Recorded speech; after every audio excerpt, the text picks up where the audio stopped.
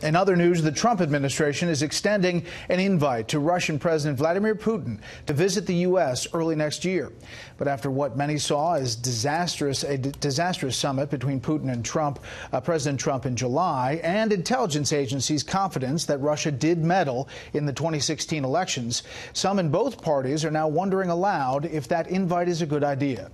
State Department correspondent Rich Edson has our story. Russian President Vladimir Putin may soon return to the White House. We have invited President Putin to Washington after the first of the year for uh, basically a full day of consultations. Traveling in the former Soviet state of Georgia, National Security Advisor John Bolton says officials are still discussing the schedule.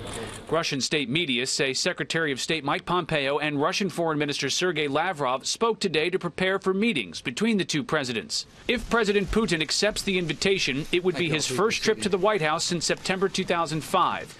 Presidents Trump and Putin last met at a July summit in Helsinki, with a press conference where President President Trump discussed Russia's interference in the 2016 U.S. election.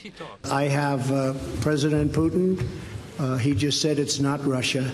I will say this I don't see any reason why it would be. That brought widespread criticism, even among senior congressional Republicans. Everyone who's dealt with Putin understands fully that the best way to deal with him is through strength. And um, I just felt like the, the president's comments made us look as a nation more like a pushover.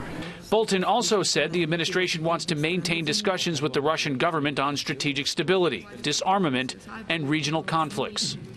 First, the president may briefly meet again with Putin next month in Paris, while the two are there for the commemoration of the end of the First World War. Brett? Rich Edson at the State Department. Rich, thank you.